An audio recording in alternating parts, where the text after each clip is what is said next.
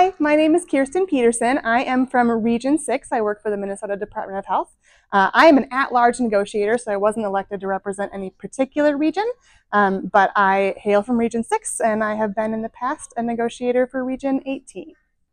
Going into negotiations, I want to tell MAPE members that we're going to win what we win at the table because we're going to fight together. So make sure you're involved, you are informed, and you're talking to your other negotiators.